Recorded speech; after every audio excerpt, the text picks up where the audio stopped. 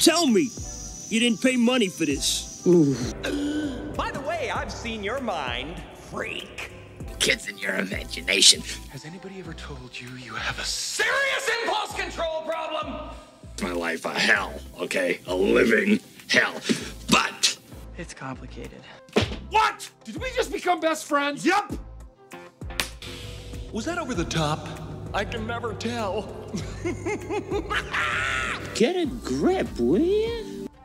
We have only recently become aware of this concept.